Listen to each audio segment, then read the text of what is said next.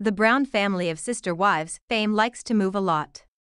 Before Kody Brown and his four women were given a reality television show, the family shuttled between several countries before settling in Utah. Once TLC cameras were on the scene, the family claimed they were being delved and snappily packed up their things and fled to open inclined Las Vegas, Nevada. There they flourished before they packed up again and moved to Flagstaff. The Flagstaff move gestured the morning of the end for the family. No bone. Is mooting that.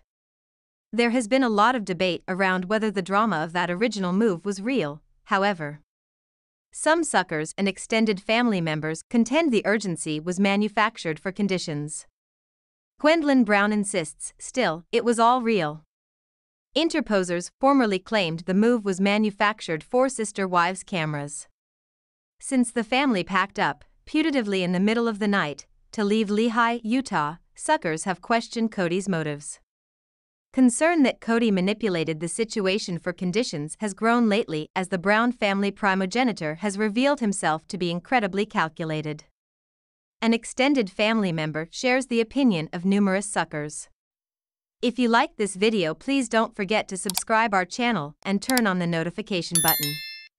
In 2016, Christine Brown's aunt and a former polygamist, Kristyn Decker, spoke to Radar Online about the family's move. Decker told the publication that she believes the Browns always planned to seek retreat in Las Vegas. She also theorized that the urgency of the move was manufactured for sister wives. Her studies align with those of numerous who watched the plot unfold.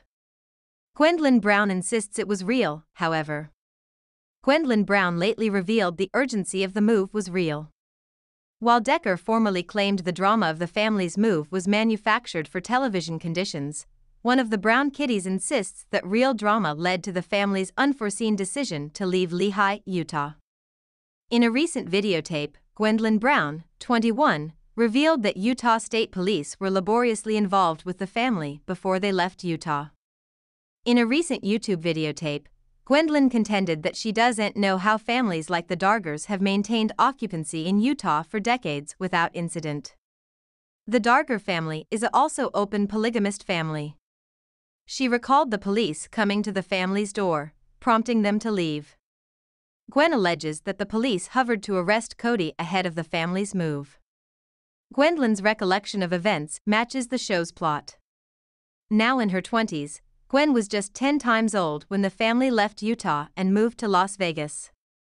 She followed the family from Vegas to Flagstaff, Arizona, in 2018. She now lives with her fiancé, Beatriz Carraz, in Arizona. The brace is set to marry this time. If you like this video please don't forget to subscribe our channel and turn on the notification button.